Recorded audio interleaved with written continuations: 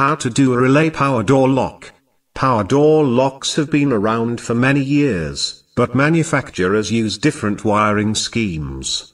One wiring scheme island resistive rest at ground, which has been used in the past by various manufacturers including Ford Motor Company.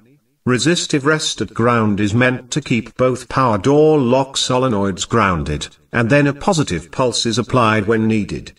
The power door solenoid or actuator is nothing more than a DC motor type component, which changes the direction of the lock actuation by reverse polarity.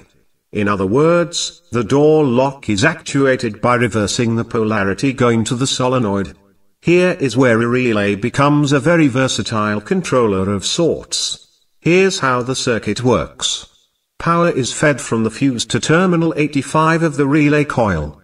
This right away tells us that the relay actuation is going to be by ground, which is a lot safer. From the fuse, power is also fed to terminal 87 of the relay.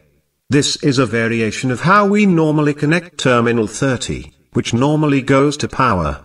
But, not here where terminal 30 is used as an output. Terminal 87A is connected, on both relays, to chassis ground. In this configuration, both relays connect the door lock actuator terminal to ground, hence the name of this circuit, resistive rests at ground. Then, we see the door lock switch to the right, which is connected to chassis ground. The door lock switch acts like a simple activation selector. Whenever we actuate the switch, one of the relays is actuated sending a power pulse or connection to the door lock.